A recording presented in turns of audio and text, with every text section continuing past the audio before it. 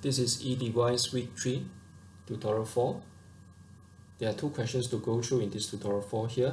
I'll be going through question 2 as well as question 3. Let's start with question 2 first. In this question 2 here, we are given a rectifier with a 12 kilo ohm load being driven by a 30 V AC transformer. In part A of the questions, we are to state the type of rectifier used as well as its function. Looking at the type of rectifier here in figure Q2, since there's only one diode D1 in the rectifier system, so therefore this type of rectifier is actually a half-wave rectifier.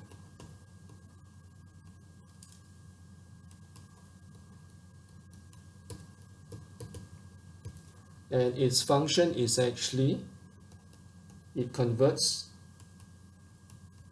AC signal to pulsating DC form.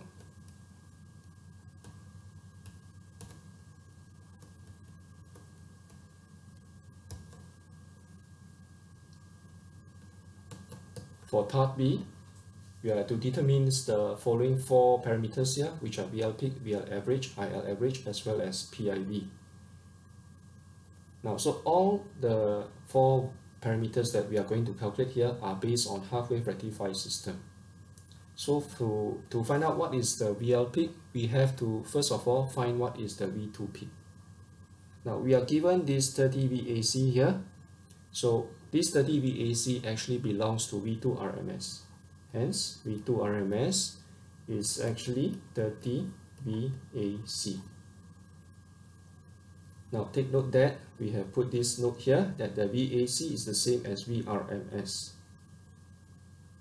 Therefore, for us to find what is V2 peak, we simply take V2 RMS multiplied by square root 2. This will give us 30 VAC multiplied by square root 2, which in turn gives us 42.43 V. We can use this V2 peak here now to calculate for VL peak. In this case, VL peak will be equals to V2 peak minus the diode D1. So the diode D1 here will be forward bias with a voltage value of 0.7 volts. Hence, VLP will be equals to 42.43 volts minus 0.7 volts. And that will equate to 41.73 volts. Moving on to VL average, for a half-wave rectifier, the VL average formula will be equals to VL peak divided by pi. So in this case, we plug the value from VL peak that we calculated earlier, which is 41.73 volts, and divide this by pi. So VL average will then be equals to 13.28 V. And then to calculate for IL average, we simply take the VL average value that we just calculated and divide this by the load resistor RL. So in this case, this will be 13.28 V divided by 12 kilo ohms. IL average is then equals to 1.11 milliamps. And then for PIV, for half-wave rectifier system, the PIV formula is actually equals to V2 peak. V2 peak we had earlier calculated, this is actually equals to 42.43 volts. Now to go on to part C, we are supposed to sketch two cycles of the voltage waveforms V2 as well as VL. And we also need to calculate what is the period of the voltage waveform across the load resistor RL. I'll do this on the next page.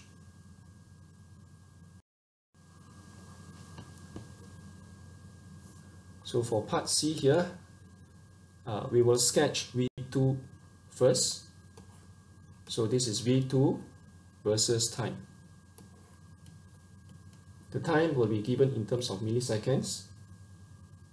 This is because when we calculate the period across the load resistor RL, So this period here will be equals to 1 over f.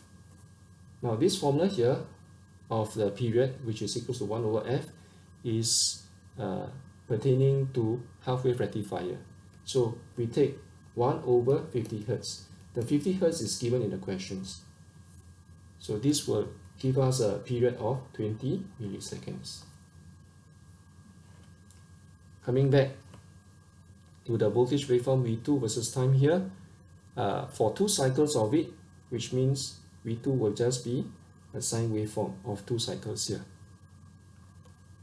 The V2 peak value is what we have calculated earlier.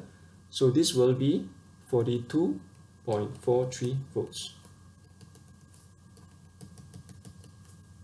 And then the uh, period will be from this peak here to the next peak. So this is the period which is 20 milliseconds. To draw out VL versus time,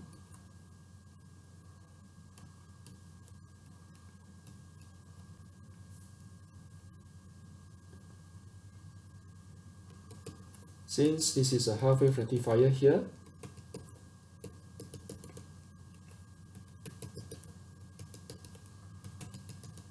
with only a single diode, so what happens is that only the uh, positive half of V2 will actually pass through the diode and be reflected across the load resistor RL. Hence, the waveform for half-wave rectifier system will be as such. Only the positive half cycle will actually pass through. The negative half cycle here will not be reflected as such, it's just lying flat like this. Okay. Only the positive half is actually reflected across RL. And then the peak of this VL here, this value will be VL peak. The VL peak that we calculated just now is actually equals to 41.73 volts. And if we were to uh, locate what is the uh, period across these two peaks here, it will be also the same, 20 milliseconds. This is for question 2.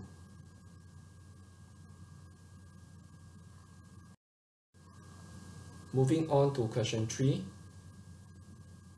Based on figure Q3 here, we are to state the functions of the transformer as well as to name the type of rectifier used here. So let's just answer the uh, functions of the transformer here first. So in part A, the transformer is actually to step down a high AC voltage to a lower AC voltage.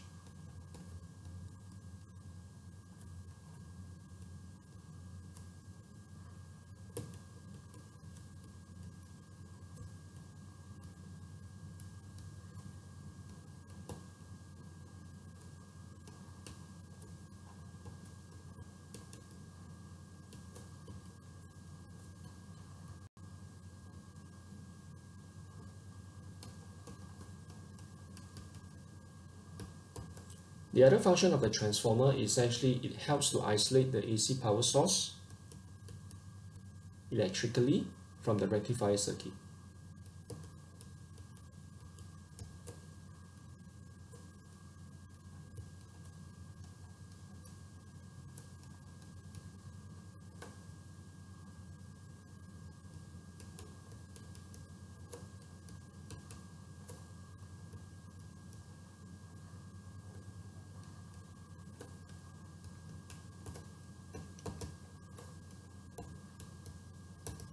And as for the type of rectifier used in figure Q3 here, it is actually a full wave bridge rectifier.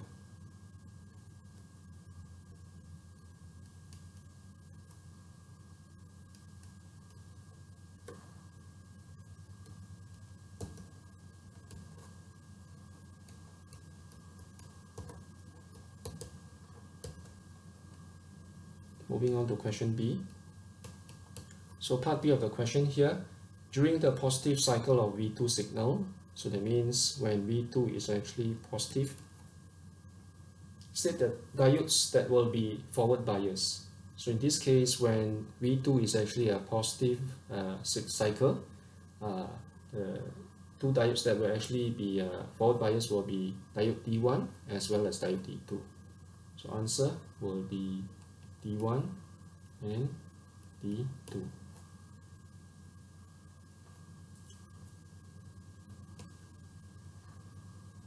And then moving on to part C, during the negative half cycle of V2 signal, state the diodes that will be forward bias. So what it means is that, let me just erase first.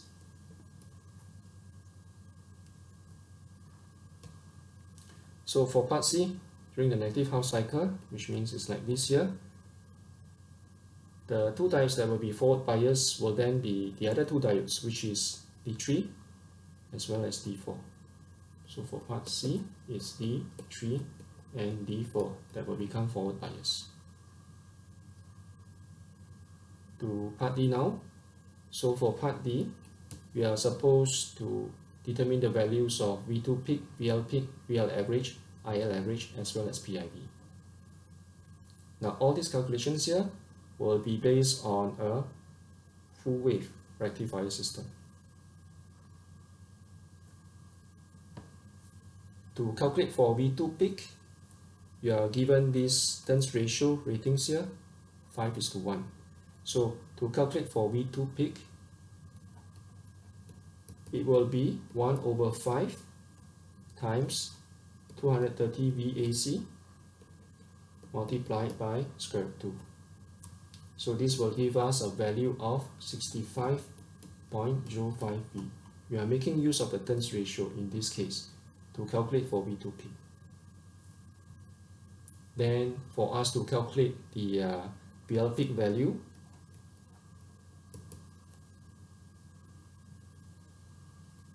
we have to take V2 peak minus two diodes. So the two diodes will be forward bias and then therefore we have 65.05V minus 1.4 volts which then gives us a value of 63.65 volts. To calculate for the VL average, for full wave rectifier system here, we have to recall that the VL average formula is actually 2 VL peak over pi. So we use 63.65 multiplied by 2 and divide this by pi giving us a final value for VL average of 40.52 volts. To calculate for the IL average, we make use of the VL average that we calculated earlier and divide this by RL. So then this will give us 40.52V divided by the RL value which is 12 kilo ohms. Hence we have a IL average value of 3.38 milliamps. As for the PIV for full wave rectifier system, PIV for full wave rectifier system is actually V2 peak minus 0.7 volts.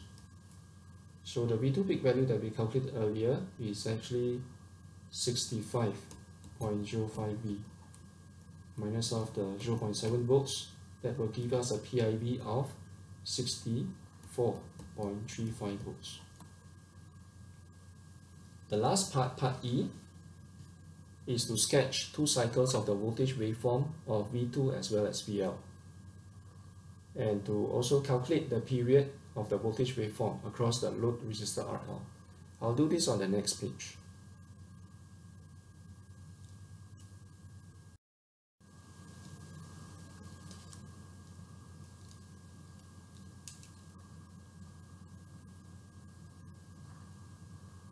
So for part E, I start to draw the graph of V2 versus time.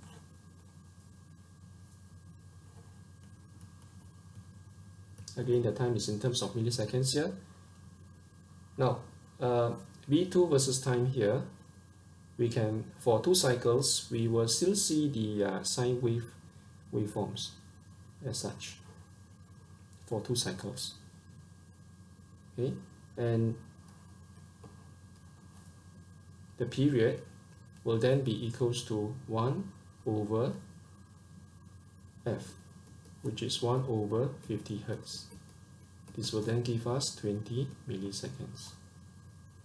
The peak of V2 is actually V2 peak.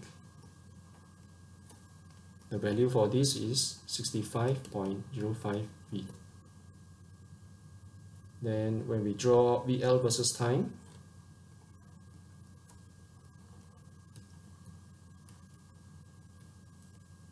two cycles of it means this way.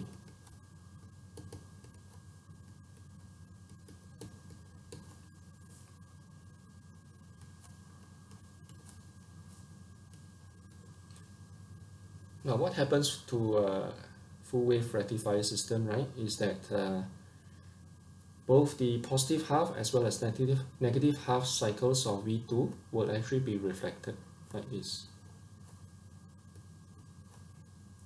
at the load resistor. So that means the period in this case will be across just one of the waveforms. So this will be equals to 1 over 2f 1 over 2 times 50 hertz and the period is therefore equals to 10 milliseconds. The peak of VL is actually VL peak and this is equals to 63.65 V and that's for question 3.